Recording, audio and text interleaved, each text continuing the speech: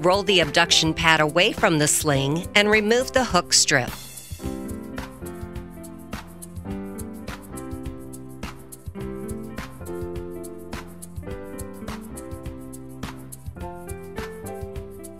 Flip the sling over for the left side configuration and ensure the pad flap is fully extended out from the bottom of the sling. With the inside curve of the pad facing upward and the flat side on the table, attach the flap to the center top edge of the pad via the hook strip on the flap.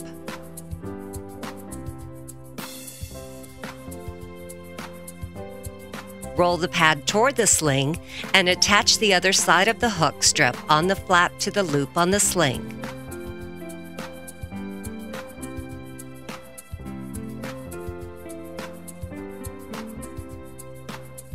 Ensure there is no exposed hook material between the pad and sling.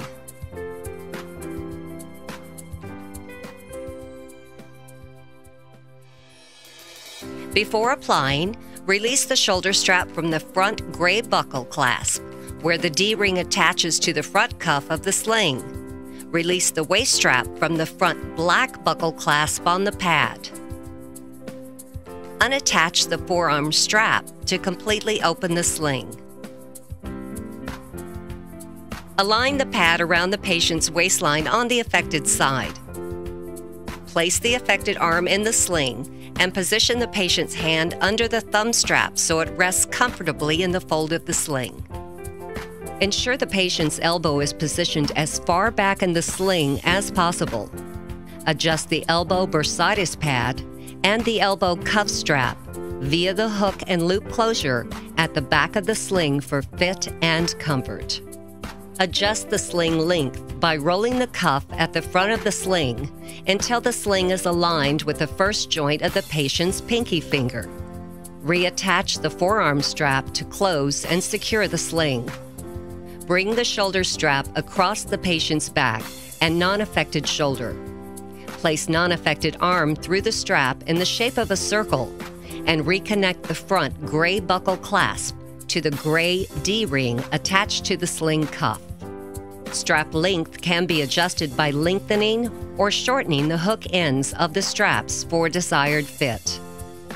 If necessary, the strap length can also be trimmed. To trim the straps, remove the Y tab from the end of the strap. Trim the strap to desired length and reapply the Y tab.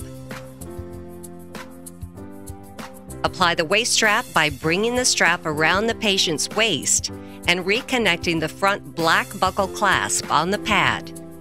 Tighten the waist strap for proper fit. If the waist strap is too long, remove Y tab and trim strap to desired length. The position of the pad may be adjusted by sliding the block forward or backward along the waistline to achieve the desired external or internal rotation. An exercise ball is included to promote proper circulation and encourage exercise.